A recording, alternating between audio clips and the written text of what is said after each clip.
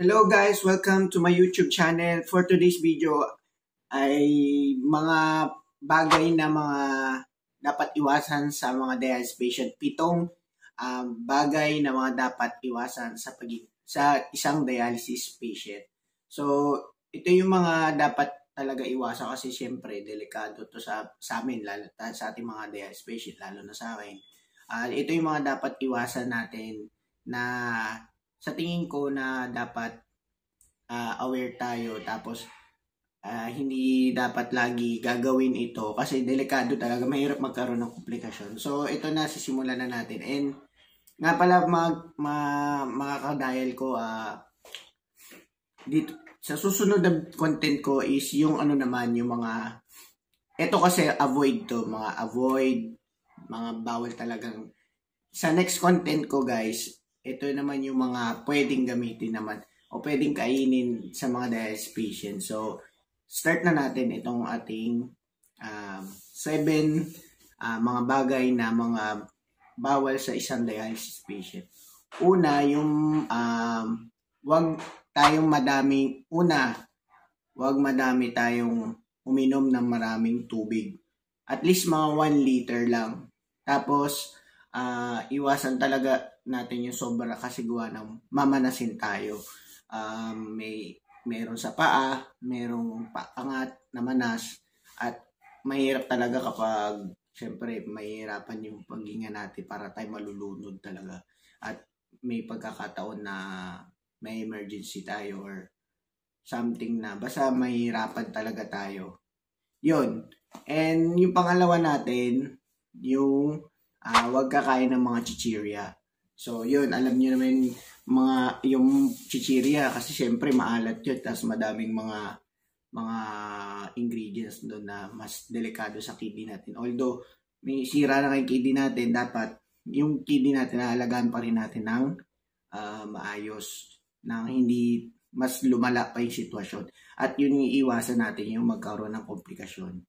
So, ito naman yung number 3 natin, yung iwasan yung mga soft drinks. So, familiar naman kayo dito guys, mga kadayal na yung soft drinks. Uh, ako, soft drinks ako lagi. Nagsa-soft drinks ako pero aminado ako pero Sprite. Pero hindi ko, para sa akin lang, hindi ko rin recommend yung Coke kasi nga may mataas ang caffeine and then uh, may food coloring And then, basta imat, matan, maano, matindi ang mga coke, ganyan. Basta sa akin, Sprite lang para sa akin. Pero, birang-bira lang naman ako uminom ng Sprite. So, para sa akin lang ha, ah, kasi syempre pampataas ng sugar and minsan nakaka, ano rin, nakaka, ano tawag doon, nakaka... Ilayo mo sa akin to. Ayoko makita ito. Maita ulo. Nakakauhaw or nakakasabik. So, yun. Uh, meron tayo yung ang apat na bawal sa isang dialysis patient. Ito yung pagkain natin ng mga red meat. Uh, at, at least alam niyo na yun guys, mga kadayal yung red meat. Uh, ito yung mga pork, uh, beef, o alam niyo na yun mga kadayal ha. Alam ko aware na kayo dito. So, syempre, kakain tayo yung ang advice kasi sa akin ng isang dietitian na kapag magkakain ka ng ganyan, small portion lang. Then, uh, yung pagkain nun, dapat evening. Tapos kinabukasan dialysis mo. Para at least na-absorb siya kahit na ano, lilinisin naman siya kinabukasan.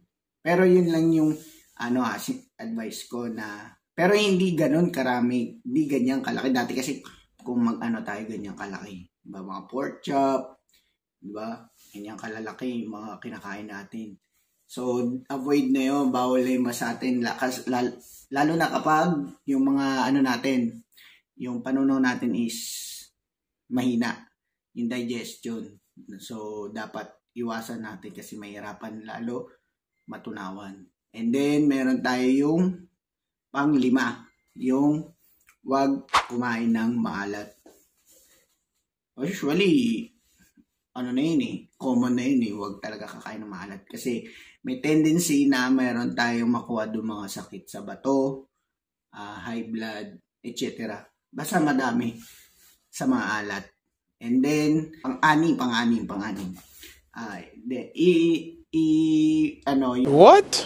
Yung pang-anim natin is yung wag tayong tumayo ng matagal. Alam niyo na yan, mga kadahil, kasi, di ba, pag tayo matagal naka, tayo pag pupunta tayo sa mga, ano, mga medical assistance, di ba?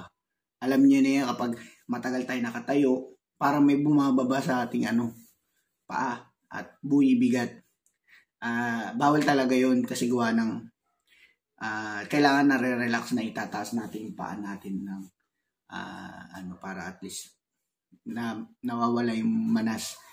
Mahirap kaya mamanas. Ako man naranasan ko mamanas yung ano eh, last last year na parang elepante yung ano ko, paa ko.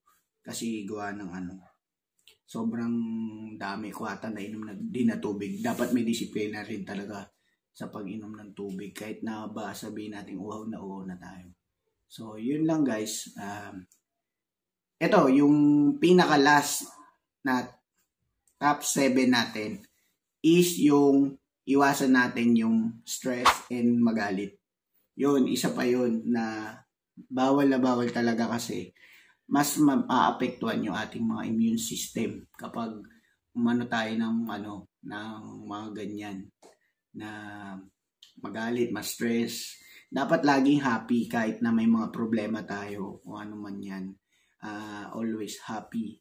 And ano, gawa ka ng mga libangan dyan, games ka, or mga online games, mga dati mong ginagawa, cooking, basta yung kaya ng katawan mo na makaka-anti-stress tsaka yung galit.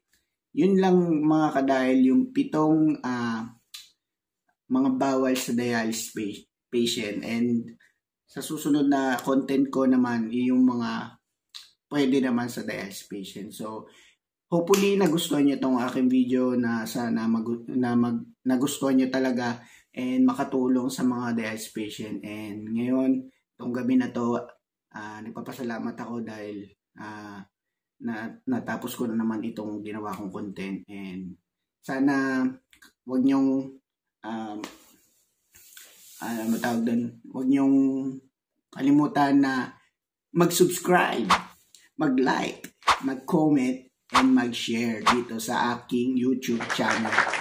And wilagay ko rin po doon sa aking description box na meron doon mga na social media account ko like TikTok, Facebook. And then yun, i-ano nyo na rin. Para i-follow nyo na rin. And thank you guys and sana nagustuhan nyo talaga itong video na to and have a nice day and good night. Bukas may dialysis pa ako. Bye-bye.